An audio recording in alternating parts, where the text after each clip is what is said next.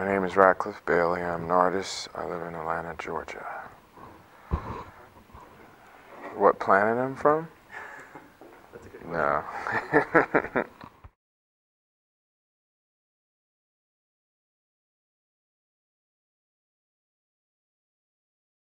I was thinking about this the other day. I was thinking about um, artists like Paul Robeson to uh, one of my f- uh, favorite musicians, Fela. And, you know, I think part of it was that I, I feel like their practice doesn't necessarily come from ju- just from making art. I think it's probably part of trying to bring life, everyday life, into their practice. I mean, it's almost like um, practitioners who are trying to solve a problem, like a doctor. I mean, but you know, in the older traditional sense, or not even really thinking about it. And sometimes I think that artists um, um, are not necessary. We don't choose it. It chooses us in a way. And so, and sometimes it's being chosen as like when you're a little kid and you're just like drawing and you're directed to go this direction, or you were a different kind of learner and you picked up information in a different way. You know, um, I don't necessarily question the kid that writes backwards. I think it makes sense. Um, but then, you know, it's like we're often confronted with like dealing with our own everyday issues as well as like the issues that are all around the world. Um, can't help but be preoccupied by um, what happens in the news every day um, and wanting something that's better. And, you know, I found that the best thing for me to do is to deal with myself and project something totally different that goes against it. Um, and in my own little way, I don't see myself as like a religious person as much as I am um, a person that is spiritually trying to find his way and trying to cre- um, create the best karma that I can just so that I can move forward. Um, and sometimes it's easier to deal with those that are closer to you rather than trying to think about the world at large because the people that are closer to you are, are the world at large and things that are regional are international and things that are international are regional. I mean, I, was, I, I often think about it because my work is focused on my own um, history um, as an African American. Um, growing up in this, growing up in Atlanta, but being from the north and thinking about my own um, histories and thinking about how those things are everyone's histories. It's not just my histories, it's more like the histories of human beings. And we all document it in, in such a way. Go to a music store and, and immediately, like when you walk in a music store, it's like the music is classified and segregated in such a way that I always thought of it as just music. Um, so, you know, that's probably my take.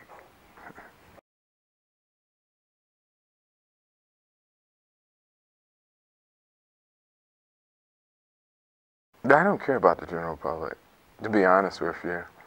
I really, um, you know, really don't think much about what people see as much as I see myself as a vessel and things come through me.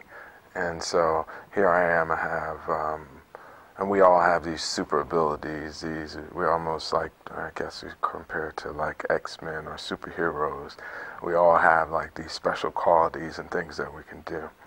And I think, when I think of my art, I think it has ability to live beyond me and, you know, live beyond me, beyond the materials. One time I used to think the materials and the images of these images and how long do they last, the objects, but now we have things that are on videotape. We can cast it and send it around the world in a second. I can figure out my DNA with a swab. I can figure out those mysteries. I can think about all those things. And, and you, I think the question was, do I care about what the general public? It's back to that one general public, I don't know. I don't really think about it. Sometimes I think I have to combat those things like that, the negative things that we see in the news and the media every day. I think I have to do something totally different. I also think that I have to take my art outside of the four walls. And I think that sometimes um, the museum can be somewhat of a prison or somewhat of, I mean, it's an important place, but I also think it intimidates many people that many people don't come to the museum. And I'm more interested in making things that um, can talk to the common man. And I always thought, well, you know, if blah, blah, blah doesn't know how to read, and I write, and the only way they can get to it is if they knew how to read. Well, I think that the thing about art visually um, can go beyond that. You know, sometimes when making art, um, we can get in a position where we're talking about thinking about thinking, so we're making work that's really mine. Excuse me, French, but mine fucking the others. I mean, it's just that kind of conversation. So I don't really want to make things I think about thinking. I'm more so into making things that can have conversations with people.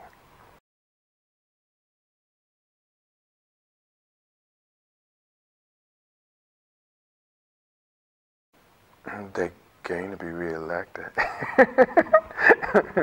but um, I think they can support it in the basic way. You know, I think that you know their arts are being cut. I think that, especially in these times, enrollments in art schools should go up. I think that artists have a different role in society. I mean, I think that you know you go to different countries and artists are tre treasured and placed in certain positions. And I think it's important when um, they listen. I, but I, I, often think that sometimes our country is too conservative in such a way where we don't appreciate those things. Those things are the first things to go after to be cut. Um, and those individuals who make art are seen, are seen as being crazy And I don't think, I mean, that's been going on for a long time in history, but I think it's important that um, our voices are being heard um, because we do create new ways of seeing the world, and we do have a lot to offer, and it's a lot of things are not necessarily tangible. They're not the things that we can write out on a paper and say, this is what we have to offer for you. It's not that direct, but I think the things that we have to offer or is this creativity, creativity just in general?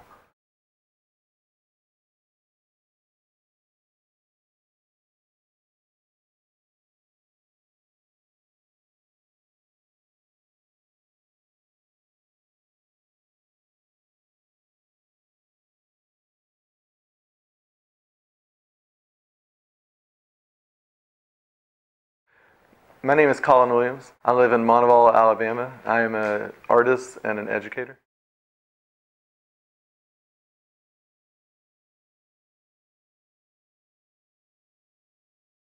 There's this idea that you frequently hear artists um, kind of expound upon. I think it has a lot to do with the mythology that surrounds uh, art making and artists. Um, that, you know, you'll hear someone kind of eloquently describe this calling that they have, and you know, um, frequently it's expressed as this innate calling that they have to be an artist, and if they weren't an artist, they couldn't be anything else. You know, so this is a very romantic notion, and um, I don't, I don't believe in that notion in any way whatsoever.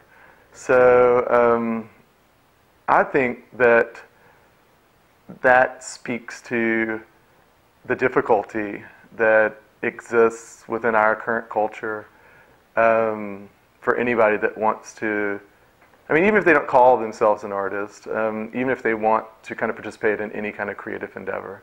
Um, although I, I think that the role of creative people and artists in particular is critical to the health of our society, I think it's undermined by a lot of different expectations that, um, you know, we could talk about that at length, but various different expectations that society uh, have for people in general and creative people uh, specifically. But, um, so I guess I'm answering the second part of the question first, but I think that it's much more difficult within our current society to function creatively. And I think that a lot of that is undermined by the consumer culture that we find ourselves in. And because consumer culture demands of people that they not make things, but that they consume things that are already made. I mean, obviously, if you're making things, you're undermining the ability of the entities within that culture that profit um, to sell you things. So if you make your own shirt, even, you know, so I very frequently lament kind of this loss of cultural heritage that I see that has happened, you know, just over the course of my lifetime, but is certainly visible if you look back a generation. So I come from, um, you know, farmers and ranchers, and my grandparents came through the Great Depression, and my grandparents were basically completely sustainable. So you hear about, you know, a lot about sustainability. There's a lot of uh, people just generally that are interested in sustainability and artists specifically that are doing work on the issue of sustainability. And when I think about that, it's kind of ridiculous to me in one way. Um, I support it philosophically, but I don't think that it's something that should be necessary to begin with. You know, because even though my grandparents wouldn't have described themselves this way, they were completely um, sustainable within their practices. So the only thing my grandfather ever purchased during the entire Great Depression was tires for his truck. You know, everything else he could make himself. And so um, I think because we find ourselves in this in this consumer culture that doesn't value and certainly um, does very little to support creativity, whether that's you know, raising your own crops, which I think is a creative act, um, sewing your own clothes, which I think is a creative act, making your own furniture, which I think is a creative act. Because most people, they don't have this creativity in their daily life, whether it's, again, sewing or carpentry or producing your own food, I think that they devalue creativity within artists specifically. And so that I, I, think, I think our culture devalues that. What they do value, though, is this idea of the artist as a mythic creature, you know, as a mythological figure. And in my mind, um, you know, some, some, some people use that to their advantage, and, and that, you know, that's fine. Um, but in my mind, I think that that undermines and devalues uh, the artistic act. Because if someone thinks that my creativity is magic, and you know all the things that I do in terms of creative thinking, all the things I do in terms of the skill set that I've developed, and all the hard work that um, anyone that's ever made art knows goes uh, into the art making process. You know, all that's devalued by this idea of it just you know jumping full form from the head of Zeus, you know, already created. So this idea of the the mythic um, um, creative being, if you will.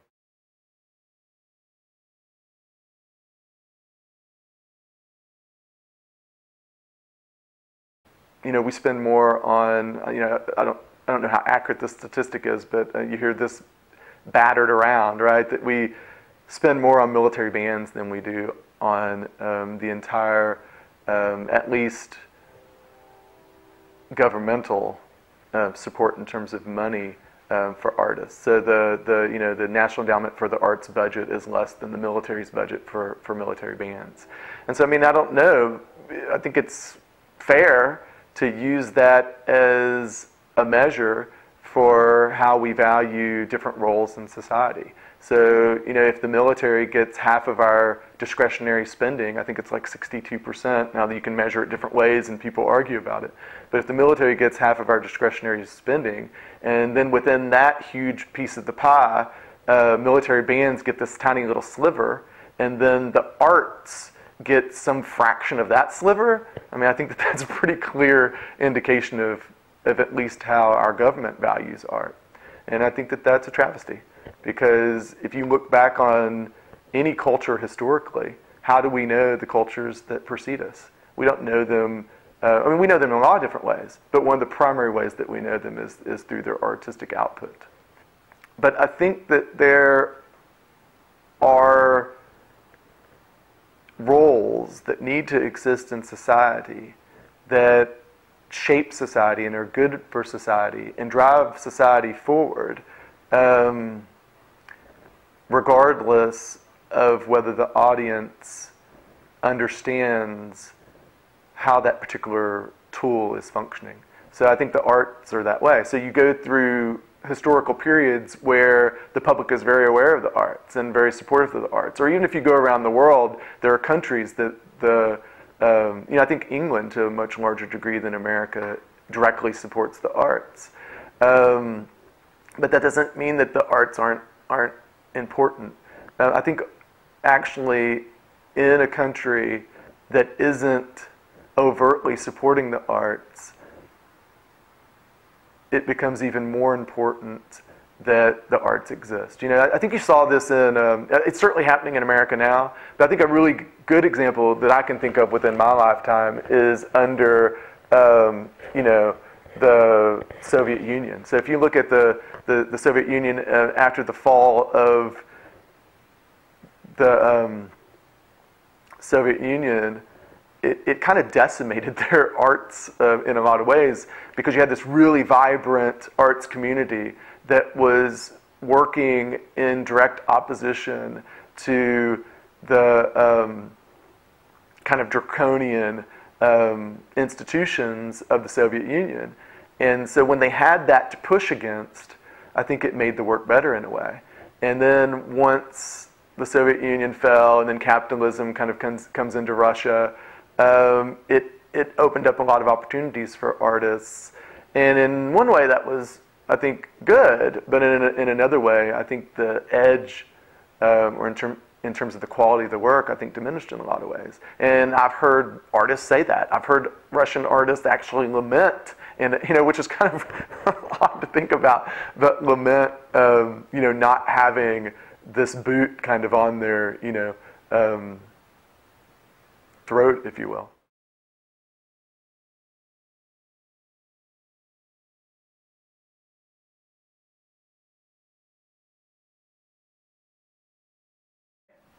My name is Ron Platt. I'm the Hugh Kaul Curator of Modern Contemporary Art here at the Birmingham Museum of Art, and I live in Birmingham as well in the city.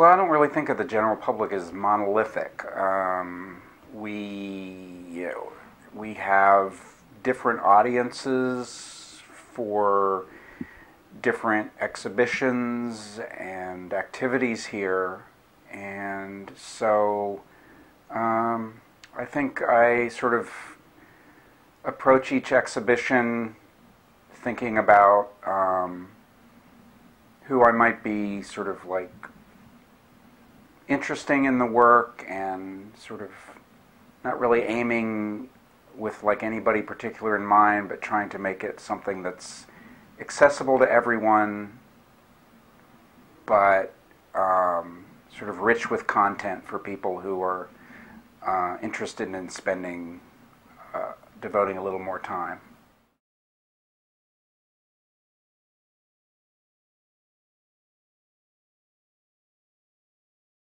Well, just based on my own past experience, yes. I mean, there have certainly been um, situations throughout my life where um, I've felt uncomfortable in gallery and museum settings.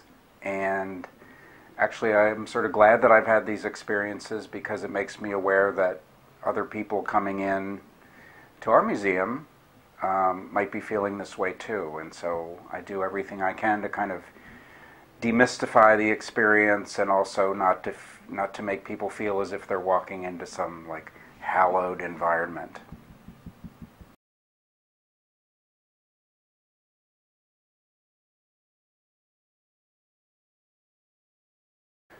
I think the way to bring artists closer to the general public is when you're presenting a certain artist's work that you present it in a way that the artist would want, um, and not try and sort of fit it in to your own sort of particular agenda. I mean, I'm not going to exhibit an artist who doesn't sort of fit with the sort of the mission of of the museum. But once I do sort of determine who I want to be working with, I want to make sure that they have a say in how their work might be presented, and um, you know might try to include their work in um, label copy or wall text, that kind of thing. I think it's important for people to realize that you know as a, as a contemporary curator, I'm working with living artists, and that people who are in my galleries are are realizing that the objects that they're encountering were made, you know, by people.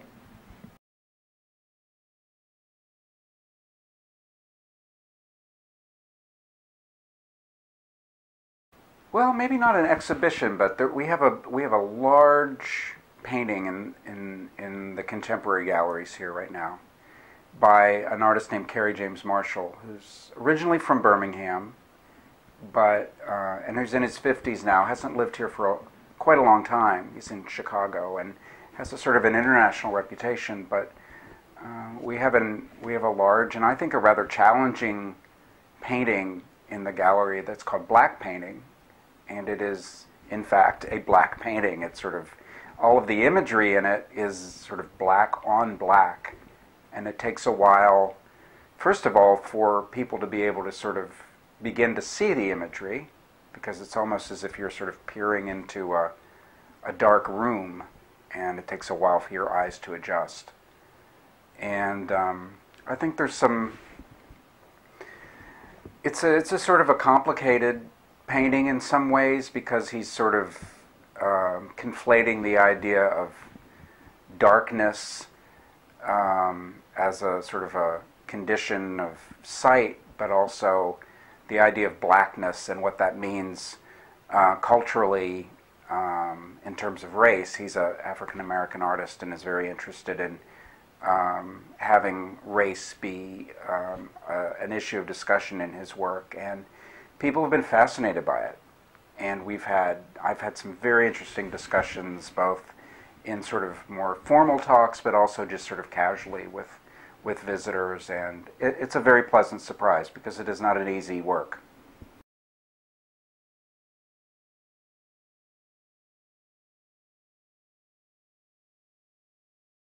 Artists have an interesting role in, in culture, I think. I mean, they're they're not like um, like a doctor or a policeman, where you know everyone at one time or another is, is going to need their services.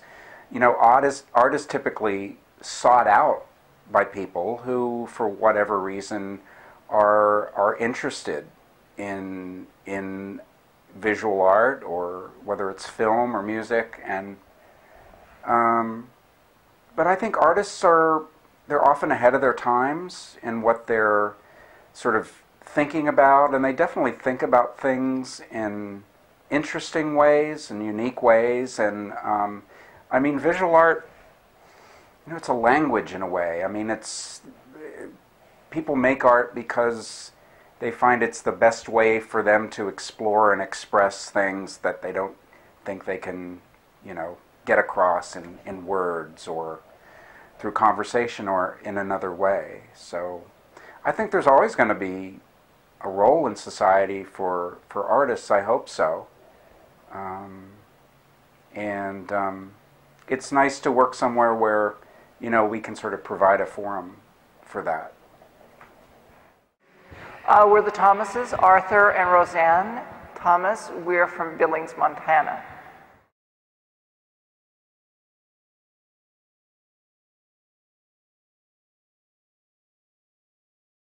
I think it's uh, that uh, most people are so concerned about the day-to-day things that very few people, percentage-wise, are really, really concerned about art. They're more concerned about making a buck, putting food on the table.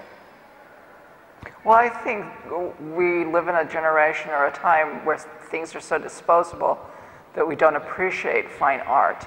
some of the things we found in the museum today couldn't be duplicated again, or that it would take years to master the techniques to reproduce something or to create something. That's not to say there aren't artists in the world today that um, are, are leaving a legacy for us, but um, where the church, you know, 400 years ago uh, had so much influence, I don't see one particular thing that outside of advertising that calls for art.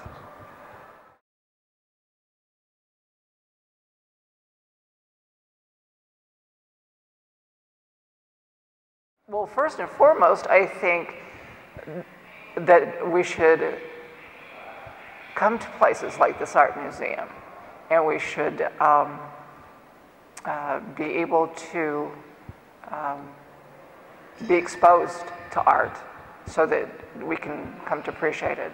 So I think that's one thing. And then, um, like us, we'll go home and say, we saw this, you know, in Birmingham and we really enjoyed it. Kind of a word to mouth, I think, is, is a one way. Of course, there's financial ways too, donations to help uh, do this. I am very interested in museums that have an area for children where they can touch, feel, sit down, and have someone speak to them about it. So I think that that's an important thing for the future too.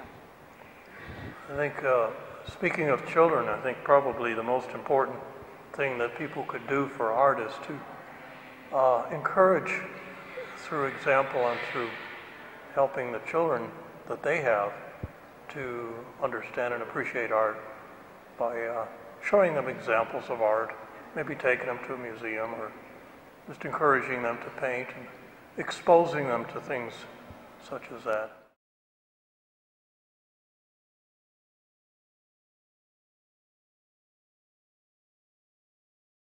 Well, the first time I can remember is, is uh, in kindergarten playing with those finger paints. I loved that. It was creative and uh, I enjoyed that.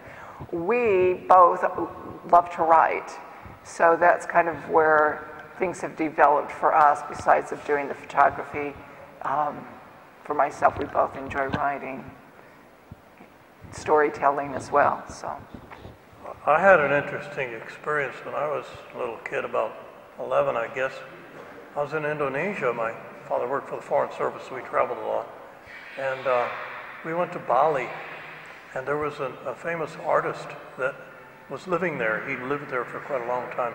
He was a uh, stone carver. Uh, he would carve this coral that he dug out from the sea surrounding the island and uh, made pillars and, and just when he built his house out of coral there on the island of Bali, he engraved beautiful uh, carvings into the stone, into the um, coral. And it was extremely intricate. And it was a little tour group that we were on. And uh, the artist, of course, asked people what they thought of them and of the, the carvings. And uh, of course, everybody was very polite and just praised it up and down. And he smiled, and then he turned to me and he said, What do you think? I guess because he wanted an honest answer. And I said, It's too much. And he smiled because he realized, and he said, he's, he's the only one that gave me a truthful answer. And he realized that it was his, his passion was to work this art so much so that he went overboard. And he tried to explain that to the tourists that, yes, uh, that's the only failing here was that I just did too much. Of course, they all poo-pooed that. They said, no, no, that's just a dumb kid's answer. It's great, but that, that was his response.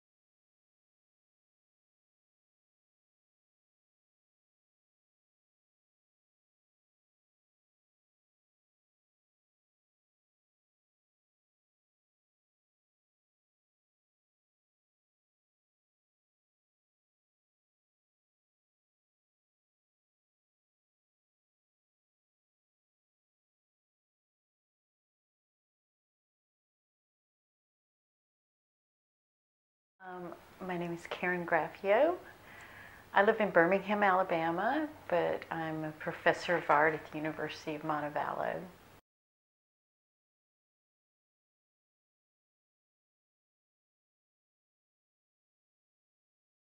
Well, right now I very much relate to Kurt Vonnegut's definition of an artist. And he said that um, the artist is the canary that society carries into the mines, making reference to um, miners would carry a canary. And when the canary died, that meant that there was uh, toxic air. And at this time, I feel like, in some ways, society is, um, instead of integrated with the artist, um, they're dangling the artist ahead to taste the current um, climate, literally the physical climate, the spiritual climate, the psychic climate. And um, if the canary's quiet, folks better run. I think in previous times, and even in um, uh, within my lifetime, I think the role of the artist has changed. I think that the artist was um, an, um, an amazing um, comfort and provided the medicine of beauty. But at this current time, I'm not sure that beauty is the medicine that society needs. There's times when I felt like story was the medicine.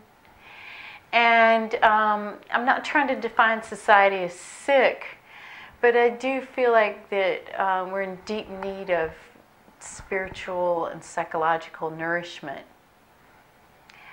Functioning as a canary in the mines isn't quite nourishing to the artist or society. I feel like that this is a, a time where um, it's an uncomfortable passage for artists.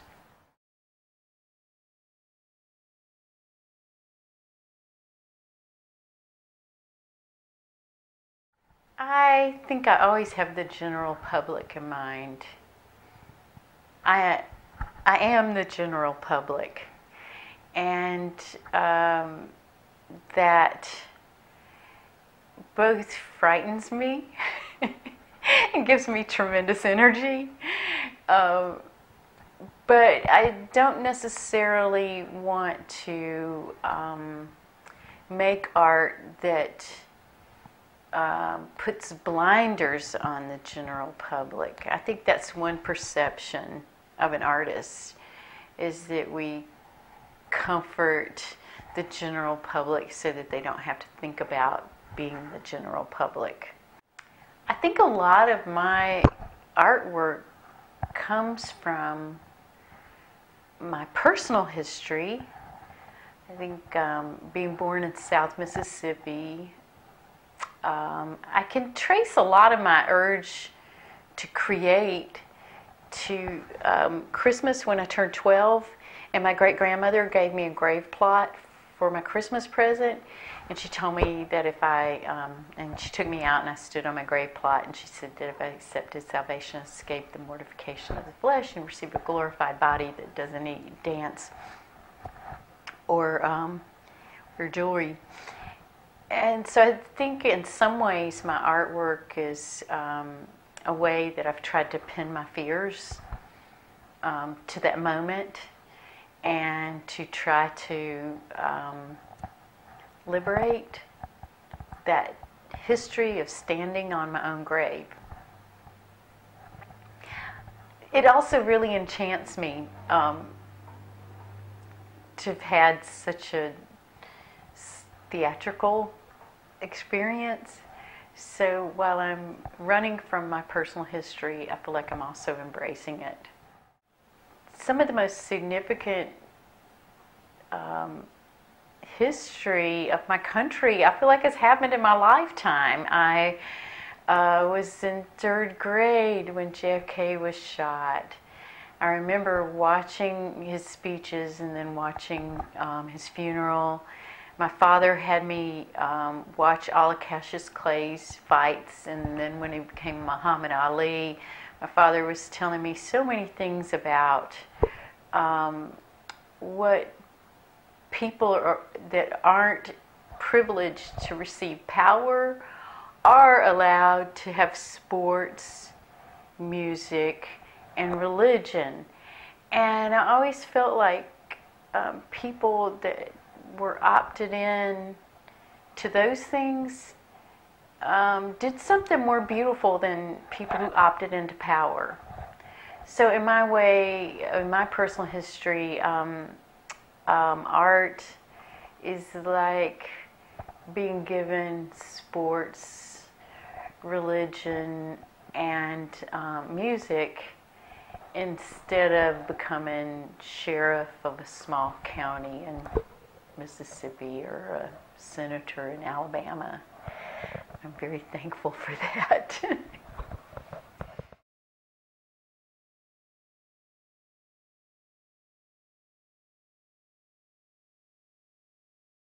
you can't have a culture without supporting the arts. You can have just an organization or corporation, but without culture, there's no litmus test for did we grow? Did we care about what came behind us? Do we care about what goes on before us? So I think that people who support the arts support the future. However, one of the things that concerns me greatly is you can't support the arts without supporting artists. So I don't want to come across as someone who isn't willing to work. Um, but truthfully, um, artists are uh, people who steal from their sleep for the privilege to make art. They do their jobs, they do, you know, everything and then steal to find a piece of time. So think that if people would support uh, living artists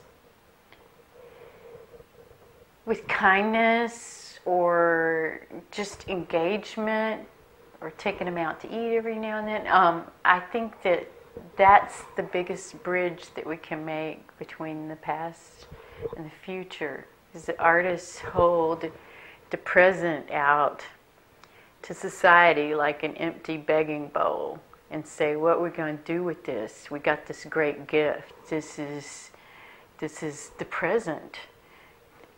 Um, do we put some soul in it?"